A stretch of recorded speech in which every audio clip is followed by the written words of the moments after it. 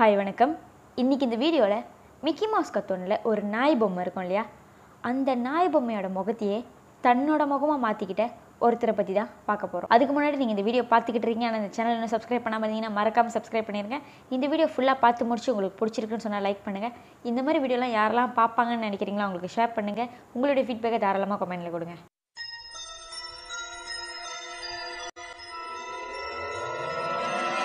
இந்த டிஸ்னி கத்தோனில் இருக்கிற அந்த நாய் மூஞ்ச தன்னுடைய முகமாக வச்சிருக்கிற இவர் பேர் ஜோனத்தன் கலிண்டோ. இவர் வந்து ஒரு சைக்கோ அப்படின்னு சொல்லிக்கிறாங்க. இந்த ஜோனத்தன் கலிண்டோவோட கதை ரெண்டாயிரத்தி இருபது. போன வருஷம் தான் யூடியூப்பில் வைரல் ஆக ஆரம்பிச்சிச்சு. இவர் ஸ்பானியோலில் உள்ள ஒருத்தர். ஃபர்ஸ்ட் இந்த கதை ஸ்பானியோலில் தான் வைரல் ஆனிச்சு. இவரோட கதை ரொம்பவே சீரியஸ்ன்னு சொல்லிட்டு உலகம் முழுக்க பரவிடுச்சு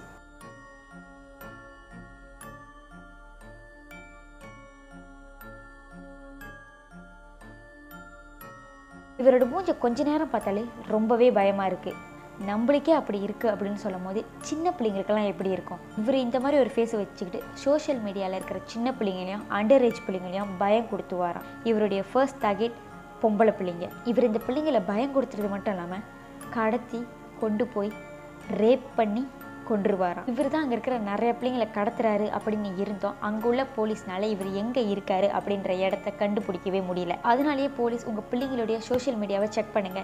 இந்த மாதிரி ஒரு ஆள் இருக்காங்களா அப்படின்னு சொல்லி ஸ்பெயினில் இருக்கிற எல்லா அப்பா அம்மாக்கும் வார்னிங் வெளியாக்குறாங்க. பிகாஸ் இவர் கடத்துகிற விதம் மற்றவங்களை விட வித்தியாசமாக இருக்கும். எப்படி அப்படின்னு பார்த்தீங்கன்னா ப்ளூ வேல் சேலஞ்ச் இந்த ப்ளூ வேல் சேலஞ்ச் ரெண்டாயிரத்தி பதினாறுலேருந்து சோஷியல் மீடியாவில் இருக்குது அதை கண்டுபிடிச்சது இவர் தான் விதவிதமான சேலஞ்ச் கொடுத்துக்கிட்டே இருக்கும் போது ஒரு நாள் அந்த சேலஞ்சில் ஒன்றா என்னை வந்து பார்க்கணும் அப்படின்னு சொல்லுவாராம் வந்து பார்க்குற அந்த பிள்ளைங்களை கடத்திட்டு போயிடுவார் என்ன தான் ரெண்டாயிரத்தி பதினாறுலேருந்து இந்த சேலஞ்ச் இருந்தாலும் போன வருஷம் தான் இவருடைய ஐடென்டிட்டி வெளிவந்துச்சு. ஸோ யார் இந்த ஜொனத்தன் கலிண்டோ? ஏன் இவர் பொண்ணுங்களெல்லாம் கடத்துறாரு? அண்ட் அவரோட மூஞ்சி ஏன் அப்படி பயங்கரமாக இருக்குது நான் முதலே சொன்ன மாதிரி இந்த ஜானத்தன் கலிண்டோவுடைய ஐடென்டிட்டி யாருக்குமே தெரியாது. அவருடைய இந்த பேர் கூட எப்படி தெரியும் அப்படின்னு பார்த்தீங்கன்னா இந்த பேரில் இருக்கிற சோஷியல் மீடியாவை யூஸ் பண்ணி தான் அவர் அந்த சேலஞ்செல்லாம் கொடுப்பாரு. இவருக்கு டிஸ்னி கார்ட்டூன்னா ரொம்பவே பிடிக்கும். அது தவிர்த்து இவர் ஒரு ஃபேமஸ் ஹேக்கர் அப்படின்னு சொல்கிறாங்க அதனால தான் இவருடைய ஐடென்டிட்டியோ இவர் இருக்கிற இடத்தையோ போலீஸ்னால் கண்டுபிடிக்கவே முடியல. நான் முதலே சொன்ன மாதிரி இவருக்கு டிஸ்னி கார்ட்டூன்ஸ்னால் ரொம்ப பிடிக்கும். ஸோ அப்படி டிஸ்னி லேண்டில் இவருக்கு வேலை கிடச்சிருச்சுன்னா கார்ட்டூன்ஸ் மாதிரி கெட்ட போட்டு அங்கே இருக்கலாம் அப்படின்றதுனால நிறைய தடவை டிஸ்னிலேண்டில் இவர் வேலை கேட்டிருக்காரு. பட் அவருக்கு அங்கே வேலையே கிடைக்கல. அவருக்கே அங்கே வேலை கிடைக்கல அப்படின்னு பார்த்தீங்கன்னா இவருக்கு ஒரு மென்டல் ப்ராப்ளம் இருக்குது என்னதுன்னா சின்ன பிள்ளைங்கள ரேப் பண்ணுறது தான் இவருக்கு இன்ட்ரெஸ்ட் டிஸ்னிலேண்டுக்கு வர்றது எல்லாமே சின்ன பிள்ளைங்களா இருக்கும் போது இந்த மாதிரி ஒரு ஆளை வேலைக்கு வச்சா அந்த பிள்ளைங்களுக்கு ஆபத்துன்னு சொல்லிட்டு டிஸ்னிலேண்ட்லேருந்து இவரை வேலைக்கு எடுக்கலை. ஸோ அவர் ரொம்ப ஆசைப்பட்ட அந்த வேலை கிடைக்கல அப்படின்னு சொல்லிட்டு தான் அவருடைய முகத்தையே டிஸ்னி மிக்கி மவுஸ் கத்தோனில் இருக்கிற நாய் மாதிரி மாற்றிக்கிட்டாரு அந்த நாய் முகம் ஃபுல் பிளாஸ்டிக் சர்ஜரியா இல்லை வெறும் முகமூடியா அப்படின்னு யாருக்குமே தெரியல. பிகாஸ் அவரை நேரில் பார்த்த எல்லாருமே அந்த நாய் முகத்தோடு தான் பார்த்துருக்காங்க இந்த ஜோனத்தன் கலிண்டோக்கு ஃபீலிங்ஸே இல்லை அவர் ஒரு மனசாட்சியே இல்லாத மிருகம் அப்படின்னு சொல்கிறாங்க இந்த ஜோனத்தன் கலிண்டோ அவருடைய விக்டிமை ரொம்ப ரேண்டமாக சோஷியல் மீடியாவில் சூஸ் பண்ணுவாராம். ஒருத்தவங்களை சூஸ் பண்ணிட்டு அவங்க கூட சாதாரணமாக சேட் பண்ணிக்கிட்டே இருந்துட்டு அவங்கக்கிட்ட சின்ன சின்ன சேலஞ்ச் கொடுப்பாராம். அவங்க அதை செய்கிறாங்களா இல்லையான்னு செக் பண்ணுறதுக்கு ஒன்ஸ் அவங்க கொஞ்சம் கொஞ்சம் அவர் சொல்கிறத கேட்க ஆரம்பிச்சிட்டாங்கன்னா அவங்கள நேரில் பார்க்க கேட்பாராம். அந்த கேட்குற இடம் இவர் சூஸ் பண்ணதாக தான் இருக்கும். இப்படி இவர் சூஸ் பண்ண அந்த பர்சன் இவரை பார்க்க வரமாட்டேன் இல்லை இவர் சொல்கிற சேலஞ்சை செய்ய மாட்டேன் அப்படின்னு சொன்னாங்கன்னா இவர் அவருடைய ஹேக்கிங் டேலண்ட்டை வச்சு இவங்களுடைய பர்சனல் டீட்டெயில்ஸ்லாம் எடுத்து அதை வைரல் பண்ணிடுவேன்னு மிரட்டுவாராம். ஸோ வேறு வழியே இல்லாமல் அந்த பர்சன் இவரை பார்க்குறதுக்கு ஒத்துக்கிட்ட உடனே இவர் அந்த ஆளை கடத்தி அவர் வீட்டுக்கு கொண்டு போய் அவங்கள ரேப் பண்ணிடுவார் ரேப் பண்ணுறதுக்கு முன்னாடி அந்த விக்டிம்க்கு இவரை மாதிரியே நாய் பொம்மையோட மூஞ்சை முகமூடியாக போட்டு விட்டுருவார். ஸோ அந்த முகமூடியை போட்டு விட்டதுக்கு அப்புறம் தான் இவர் அவங்கள ரேப் பண்ணுவார். ரேப் பண்ணி முடித்த பிறகு அந்த உடம்ப இவர் பிளாக் மேஜிக் கற்றுக்கிறதுக்காக யூஸ் பண்ணிப்பார். ஸோ இவர் ஒரு டிஸ்னி அப்சஸ் ஹேக்கர் சைக்கோ கூடவே ஒரு பிளாக் மேஜிஷியன் ஸோ அவர் இங்கே கற்றுக்கிற அந்த பிளாக் மேஜிக் நாலேஜ் வச்சுக்கிட்டு ஒரு ஆளை ஈஸியாக மயக்கிடுவாராம் அதை தவிர்த்து அவங்க வீட்டிலேருந்து என்னுடைய பிள்ளை காணா போச்சு அப்படின்னு அவங்க பேரண்ட்ஸ் ரியலைஸ் பண்ணாத அளவுக்கு அவர் வச்சுப்பாராம். அப்போ தான் அவங்க போலீஸில் ரிப்போர்ட் பண்ணி இவருக்கு எந்த பிரச்சனையும் வராதுன்னு சொல்லி. ஸோ அவர் ஒரு உடம்பை கடத்தி ரேப் பண்ணி பிளாக் மேஜிக் கற்றுக்கிட்டு அதுக்கு சில ஊசியெல்லாம் போட்ட பிறகு அந்த உடம்ப ஒரு டிஸ்னி கார்ட்டூன் மாதிரி மாற்ற ஆரம்பிச்சிருவாராம். இவர் தயாரிக்கிற இந்த பொம்மை நம்ம கடையில் பார்க்குற மாதிரி க்யூட்டாக இல்லாமல் ரொம்பவே கொடூரமாக இருக்கும்னு சொல்கிறாங்க இந்த பொம்மையை அவர் செய்கிறதுக்கு காரணம் அவர் விற்கிறதுக்காக கிடையாது. பட் அவருடைய மெமரிஸில் இந்த இந்த மாதிரிலாம் இருக்குது அப்படின்னு சொல்லி வச்சுக்கிறதுக்காக. அவர் ஒரு ஆள் கடத்துறாரு அப்படின்னு சொன்னால் அவருடைய பல தேவைகளை இந்த ஒரு ஆள்கிட்டயே அவரால் பூர்த்தி பண்ண முடியும். இருந்தாலும் அவர் பல ஆளுகளை திரும்ப திரும்ப டார்கெட் பண்ணிக்கிட்டு தான் இருக்காரு. எல்லா தப்பு பண்ணுறவங்களும் ரொம்ப நாள் அதே தப்பை மாட்டிக்காமல் பண்ண முடியாதுன்னு சொல்லுவாங்க இல்லையா? அந்த மாதிரி ஒரு நாள் கார்லோஸ் அப்படின்றவர் இவருடைய ஐடென்டிட்டி எல்லாத்தையும் கண்டுபிடிச்சி அவருடைய யூடியூப் சேனலில் யார் இந்த ஜோனத்தன் கலிண்டோ அப்படின்ற உண்மையை ரிவீல் பண்ணுறாரு இந்த கார்லோஸ் அந்த வீடியோவை அப்லோட் பண்ணதுலேருந்து இந்த நாய் மாதிரி மூஞ்சி வச்சுருக்கிற ஒரு மனுஷனை எல்லாருக்குமே தெரிய ஆரம்பிக்குது.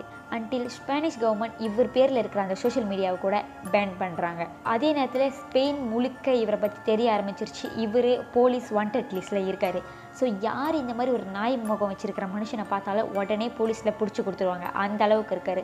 ஸோ ஒரு வேறு வழியே இல்லாமல் அவரை தன்னைத்தானே மறைச்சி வாழ ஆரம்பித்தார் பட் இந்த கர்லோஸ் தான் தன்னை மாட்டி விட்டான்னு சொல்லி அந்த கர்லோஸ் மேலே இவருக்கு தனி பகையே இருக்குது ஏன்னா இந்த கர்லோஸ் தான் அவரை பற்றின ஐடென்டிட்டியை ரிவீல் பண்ணார்.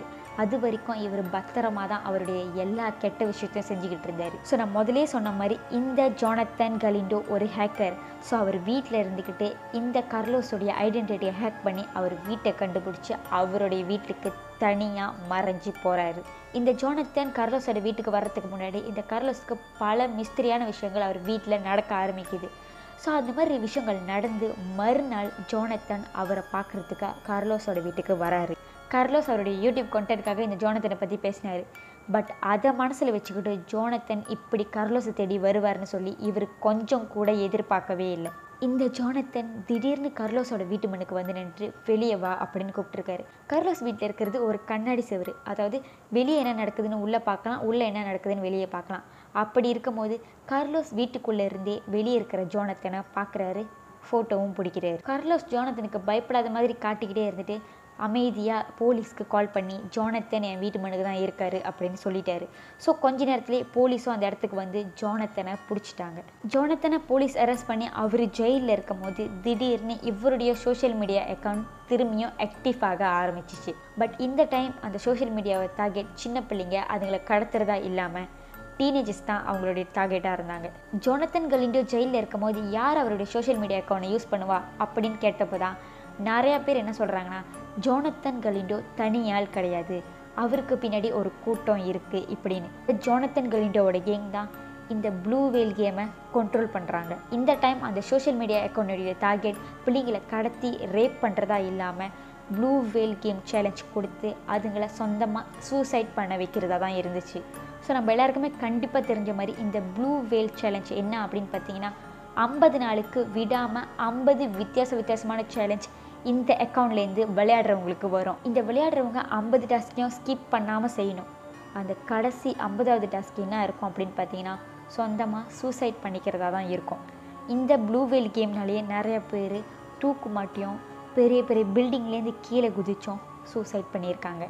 வான்ஸ் இந்த கேமை அந்த முன்னுக்குள்ளவங்க விளையாட ஆரம்பிச்சிட்டாங்கன்னா இதில் நடுவில் குயிட் பண்ணவே முடியாது. ஃபுல்லாக விளையாண்டே ஆகணும். நான் முதலே சொன்ன மாதிரி அப்படி விளையாடலை சொல்கிறத கேட்கல அப்படின்னு சொன்னால் உங்களுடைய ப்ரைவேட் டீட்டெயில்ஸை நாங்கள் வெளியாக்கிடுவோம் அப்படின்னு சொல்லி பயம் கொடுத்தி தான் இந்த விளையாட்டையே விளையாட சொல்லுவாங்க. இந்த கேமை ஸ்டார்ட் பண்ணி விளையாடுறவங்கள நைன்டி எயிட் பர்சன்ட் எல்லாருமே கண்டிப்பாக இறந்துருவாங்களாம். இந்த மீதம் இருக்கிற ரெண்டு பர்சன்ட் ஆளுங்க ஏதோ ஒரு லக்கில் தப்பிச்சிடலாம் ஸோ பெட்டர் இந்த கேமையே ஸ்டார்ட் பண்ணாமல் இருக்கிறது தான்.